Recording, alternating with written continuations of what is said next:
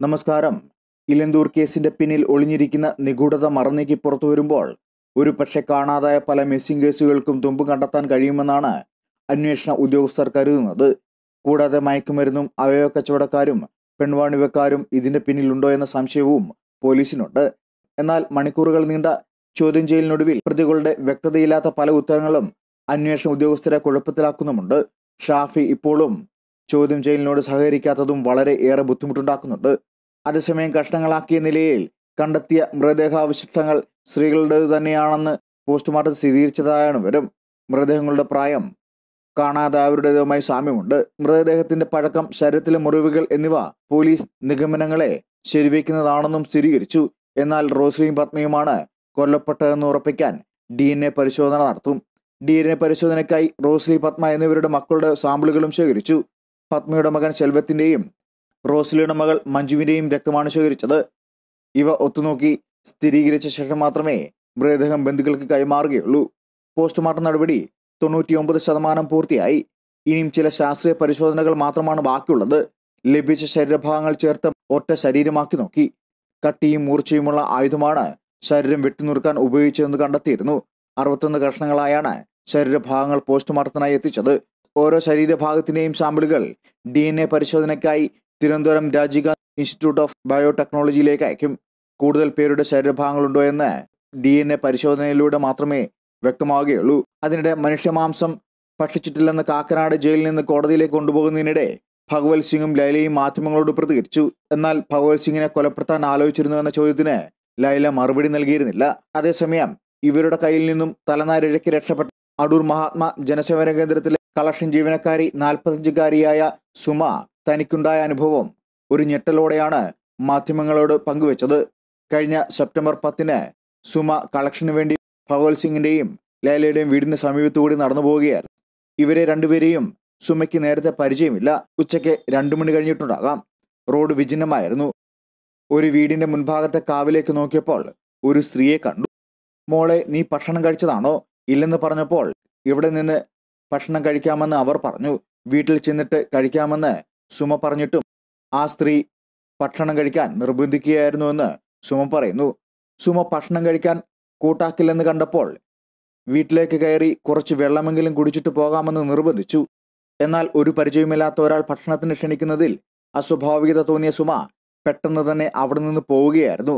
അതിനിടയ്ക്ക് ജനസേവന കേന്ദ്രത്തിലേക്ക് സംഭാവനയായി അറുപത് രൂപ കൊടുക്കുകയും ചെയ്തു. ബാബു എന്ന പേരിലാണ് അതിന്റെ രസീത് നൽകിയത്. ഇരുവരും സംസാരിക്കുന്നതിനിടെ മുതിർന്ന ഒരാൾ പുറത്തേക്ക് വന്നു നോക്കിയെന്നും സുമ പറയുന്നു. അത് ഭഗവത് സിംഗും ലൈലയും ആയിരുന്നുവെന്ന് സുമ ഇപ്പോൾ മനസ്സിലാക്കുന്നു. എന്തായാലും ജീവൻ നഷ്ടപ്പെടാത്തതിന്റെ ആശ്വാസത്തിലാണ് സുമ. എന്നാൽ രണ്ടു വർഷത്തിലേറെയായി ഷാഫി ഭഗവത് സിംഗിന്റെ വീട്ടിലെ നിത്യ സന്ദർശകനാണ്. ഇന്നോവ പോലെയുള്ള വലിയ വാഹനങ്ങളിലാണ് മിക്കപ്പോഴും ഇയാൾ വരാറുള്ളത്. പുലർച്ചെ മുതൽ ഫോണിൽ സംസാരിച്ചുകൊണ്ട് റോഡിലൂടെ തലങ്ങ് വിലങ്ങും നടക്കുന്നതും പതിവായിരുന്നു. എന്നാൽ ഷാഫി പതിനാറാം വയസ്സു മുതൽ കുറ്റകൃത്യങ്ങളിൽ ഏർപ്പെട്ടിരുന്നുവെന്ന സൂചനയും പോലീസിന് ലഭിച്ചിട്ടുണ്ട്.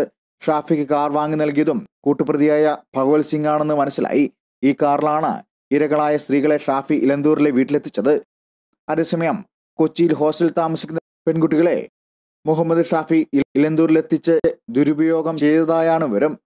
പോലീസ് ഇക്കാര്യം സ്ഥിരീകരിച്ചിട്ടില്ല.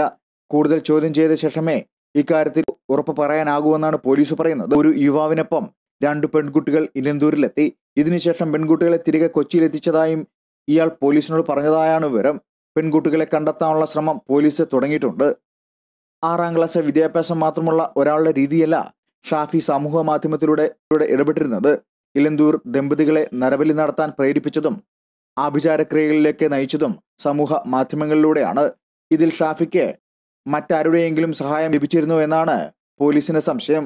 ഭഗവത് സിംഗ് ലൈല എന്നിവരുടെ വീട്ടിൽ ആയുർവേദ ചികിത്സയ്ക്ക് വേണ്ടി സമീപകാലത്ത് തങ്ങിയിട്ടുള്ള ചലച്ചിത്ര പ്രവർത്തകർ അടക്കമുള്ളവരുടെ മൊഴിയും ശേഖരിക്കും. കേരളത്തിന്റെ പല ഭാഗങ്ങളിലും റിപ്പോർട്ട് ചെയ്തിട്ടുള്ള സ്ത്രീകളെ കാണാതായ കേസുകളുമായി നരബലി കേസിലെ പ്രതികൾക്ക് എന്തെങ്കിലും ബന്ധമുണ്ടോ എന്നും പരിശോധിക്കും. പ്രതി മുഹമ്മദ് ഷാഫിയുടെ ദുരൂഹ പ്രവർത്തനങ്ങൾക്ക് മറ്റാരുടെയെങ്കിലും സഹായം ലഭിച്ചിട്ടുണ്ടോ എന്നും പോലീസ് അന്വേഷിക്കുന്നുണ്ട്.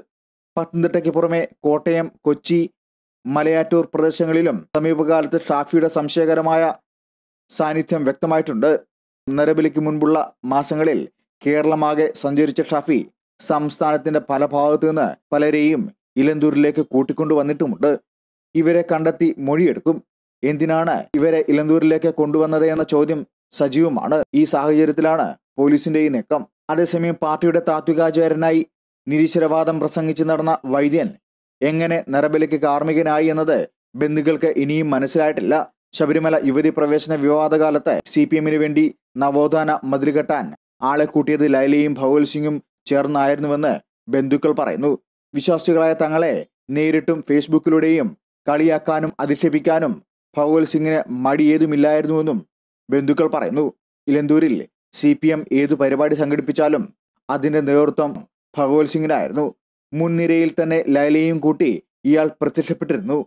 ശബരിമല വിവാദകാലത്തെ നവോത്ഥാന മതിലുകെട്ടാൻ സ്ത്രീകളായിരുന്നു ആവശ്യം. അതിനായി വനിതകളെ കൊണ്ടുവരാൻ വീടുതോറും കയറിയിറങ്ങി പ്രചരണം നടത്തിയത് ലൈലിയായിരുന്നു.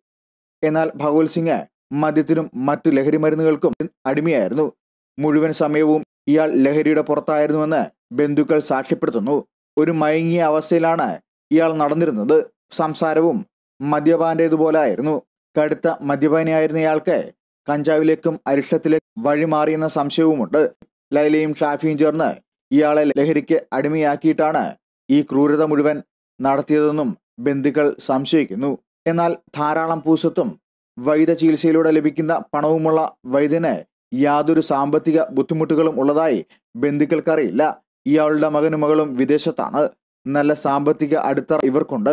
പിന്നെ എന്തിനാണ് ഇത്തരമൊരു ക്രൂരകൃത്യമെന്ന ചോദ്യത്തിനാണ് മറുപടി കണ്ടെത്തേണ്ടത്. അതേസമയം മുൻപ് തിരുമൽ കേന്ദ്രത്തോട് ചേർന്ന കാവിൽ ദിവസവും മുടങ്ങാതെ വിളക്ക് വെച്ചിരുന്നു.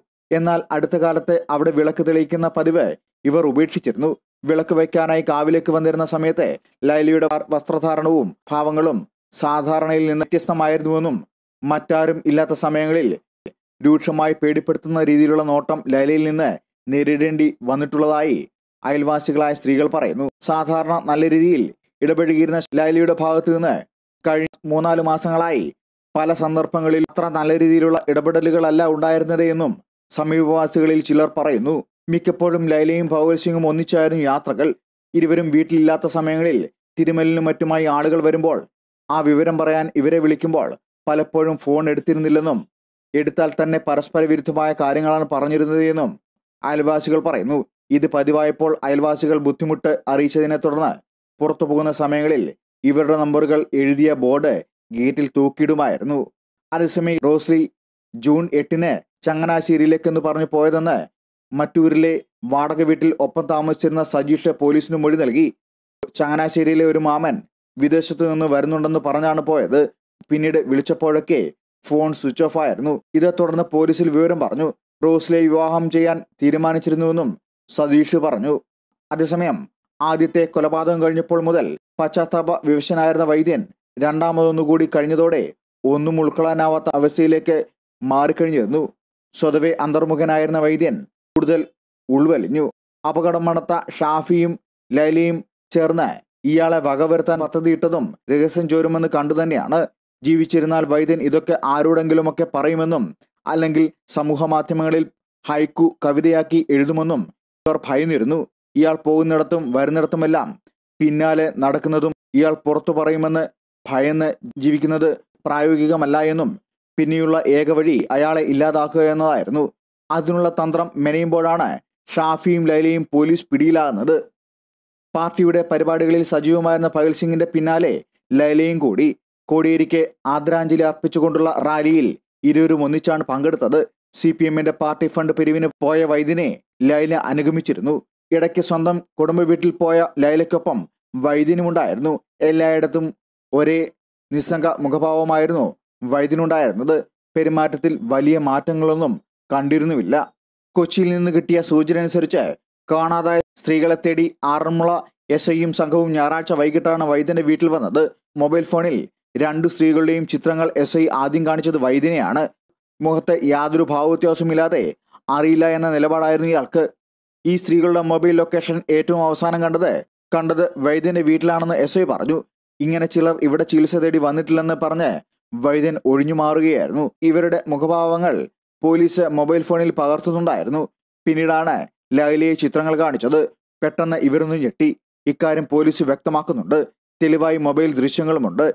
ഇതിനിടെയാണ് സ്ത്രീകളുടെ തിരോധാനത്തിൽ ദമ്പതികൾക്കുള്ള പങ്കുറപ്പിച്ചത്. പിറ്റേന്ന് പുലർച്ചെ ഇരുവരെയും പോലീസ് കസ്റ്റഡിയിലെടുക്കുകയും ചെയ്തു. ലൈലയും ഷാഫിയും നന്നായി ഹോംവർക്ക് ചെയ്തിട്ടാണ് പോലീസിന് മുന്നിൽ നിൽക്കുന്നത്. അന്വേഷണം വഴിതെറ്റിക്കാനുള്ള എല്ലാ നീക്കങ്ങളും ഇവരുടെ ഭാഗത്തു നിന്നുണ്ട്. അതിന്റെ ഭാഗമായിട്ടാണ് നരഭോജനം എന്നൊരു കഥ പുറത്തു വരുന്നത്.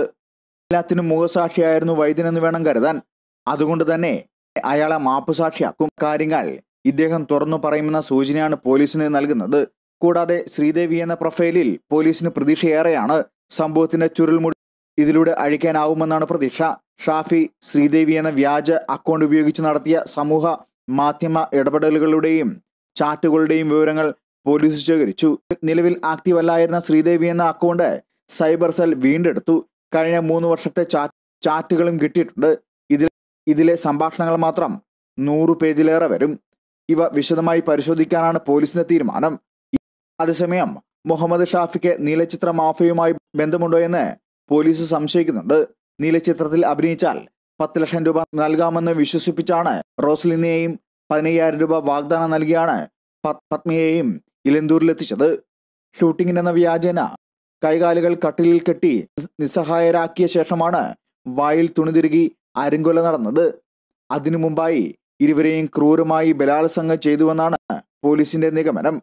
കടവന്ത്ര പോലീസ് രജിസ്റ്റർ ചെയ്ത പത്മ തിരോധാന കേസുമായി ബന്ധപ്പെട്ട് ഡി സി പി എസ് ശശിധരന് തോന്നിയ സംശയങ്ങളാണ് കേരളം ഞെട്ടിയ ഇരട്ട നരബലി പുറത്തു കൊണ്ടുവന്നത്. തുടർന്നാണ് കൂടുതൽ പോലീസുകാരെ ഉൾപ്പെടുത്തി കേസന്വേഷണം ഊർജിതമാക്കാൻ കൊച്ചി സിറ്റി പോലീസ് തീരുമാനിച്ചത്.